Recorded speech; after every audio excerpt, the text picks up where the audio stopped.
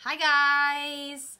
Okay, so I'm gonna show you some practical uses of how I use Copaiba for my son. So my son Andrew is five months old and right around now is when we're starting to cut those lovely little white things in his mouth. Okay, so two ways that I use Copaiba uh, for Andrew. I have made a roller for him in here, and I, I need to fill it up again because we're getting kind of uh, low. As you can see, we're using it quite often.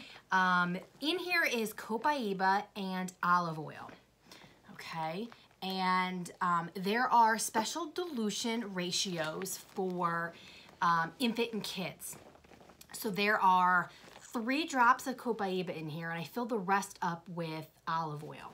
Now, I, um, you can use a coconut oil if it is um, an ingestible coconut oil, but I have olive oil and that's considered a carrier oil. Um, so why not, right? So the first thing that I do, I take the roller and I rub it on his jawline. Okay, I rub it on his jawline and I go above his little lips and underneath. Okay, I do this several times a day. Okay, and then what I do at nighttime is I take the actual copaiba oil and I put a little bit on my fingertip and I massage his gums.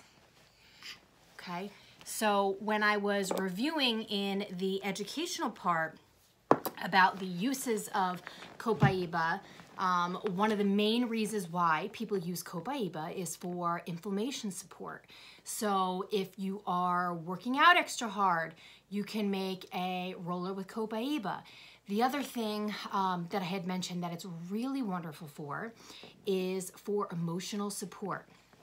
So a lot of people uh, will take the copaiba, just like I showed you, on my finger and put a drop underneath their tongue. Okay, and it just kind of mellows you out a little bit. so copaiba is a really, really um, multi-purpose use oil that I think was one of the oils in the kit that I really underutilized at first because I really just didn't know all that it was good for. Uh, but now it's one of my everyday oils. And it's also, you know, the um, the magnifier oil. So any roller that I make that I want to magnify the properties of the other essential oils, I'll put a couple of drops of the copaiba oil into those rollers. So that is one of the uses for Andrew. The other thing that I use it for is underneath my eyes. Okay, so there's plenty of mornings that I'm waking up and it looks like I haven't slept in days. Um, so you can make a roller or just do the same thing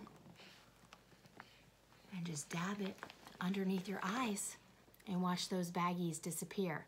So that could be a challenge that you can use for this Copaiba oil. Take it in the morning time or at night after you wash your face and put a couple of drops in your finger or in your hand and then dab underneath your eyes.